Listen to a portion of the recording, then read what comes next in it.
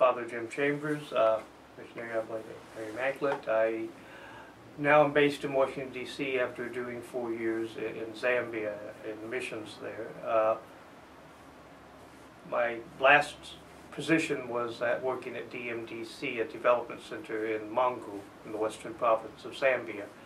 And the unique approach that we were trying to create markets for the farmers uh, was a different way of, instead of trying to give things to people, we're trying to help people take a step up by i.e. creating markets. Uh, so it was mainly with rice. We had started a project and I was able to build upon it where that we were buying rice from, from the small scale farmers at, at a decent price. We would polish it and then we would take it to Lusaka.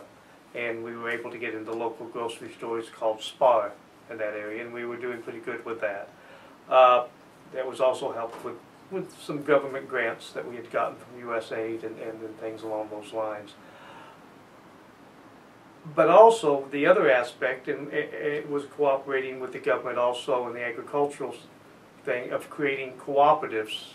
Actually, first we were trying to create farmers groups where the farmers could get together and market their products together, i.e. to us as one group.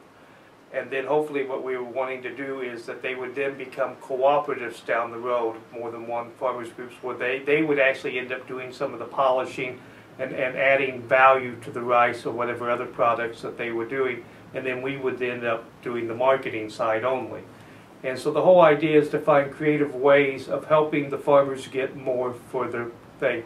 And, and, and, we believe that if we can help people with their material needs, that then we can also then also just talk about their spiritual needs. And I think it's kind of hard to talk to people about God's love when they're hungry, wh- wh- when they're isolated, when they feel that the world is against them. Huh? It's easier to talk to somebody after you've journeyed with them a little bit. And I think that that's part of what we've done. We've journeyed with them by helping them with their material needs and showing that we do that they have a dignity and a concern.